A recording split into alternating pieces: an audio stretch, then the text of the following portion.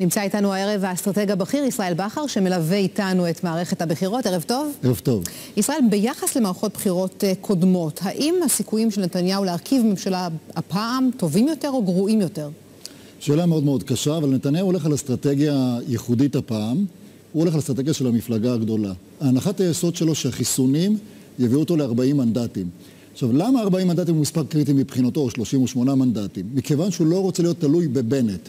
הוא רוצה ליצור קואליציה שבה נשענת ליכוד גדול, חרדים וסמוטריץ'. בזה הוא בעצם לא תלוי בבנט. ולכן זו האסטרטגיה שלו.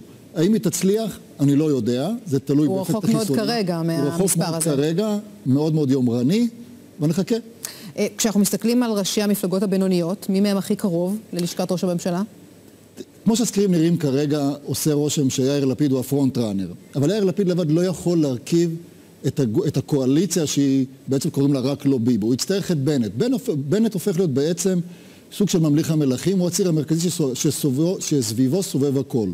כלומר, אם בנט יהיה בעצם זה שיוכל לתת את ה-61 לנתניהו, מכיוון שאין לו את זה בלעדי בנט, עכשיו, זה תלוי באיזה מצב בנט יהיה. עכשיו, לבנט יש שלושה מצבים, מאוד פשוטים.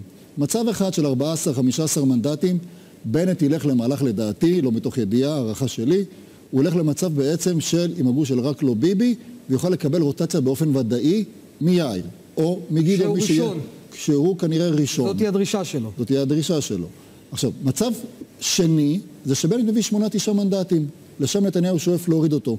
במקרה כזה, אני חושב שהנטייה של בנט תהיה להיות בעצם עם הליכוד, מכיוון שהוא לא יהיה את הגוש הרק לא ביבי, לא יהיה לה מספיק מנדטים כדי להקים בלוק חוסם. המצב השלישי והוא המעניין, זה מצב הביניים. מה קורה כן. במצב הביניים? האם בנט עם 12 מנדטים או 11 מנדטים, מה הוא עושה דאז? למה? מכיוון שבגוש רק לא ביבי לא יהיה להם קל לתת לו רוטציה.